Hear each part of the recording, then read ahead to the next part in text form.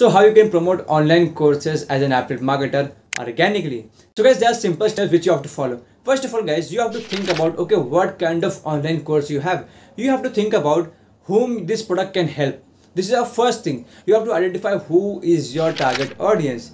First of all, you are clear about who is your dream client then the next step what you have to do is you have to think about where they are hanging out. Means they're spending time on like a podcast medium like reading blogs or they are watching youtube content or they're on instagram. So you have to think about which platform they're hanging out. And the next step what you have to do is you have to focus on what kind of keyword they are searching for. Because guys you are selling something right? So you want those people who want to invest who want to learn who are searching who are finding something who want to learn those things. So what you will do is you have to find out what kind of things they are searching on and how they are searching. Like you have to think about okay if there is a people who are working on a job so what he will search? How to start a side hustle as a corporate you know how to leave 95 jobs and how to start their side hustle with 95 jobs. So you have to think about that and you have to start creating content. But here guys i will say one thing that is you have to focus on building a personal brand. Reason behind this there are so many other people are also promoting the same product so how you can differentiate yourself from all those people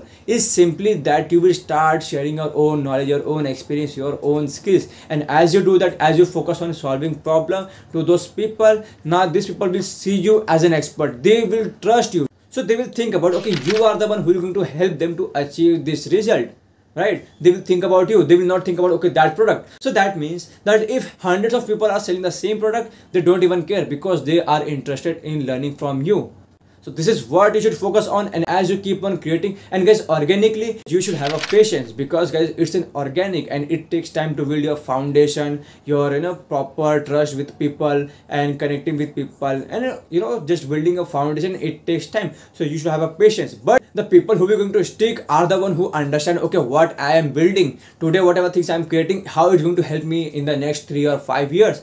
If you have a long-term vision even if you know okay whatever things i'm doing is going to help me in future then definitely we're going to stick with it and definitely we'll start getting amazing result by selling those online courses through organically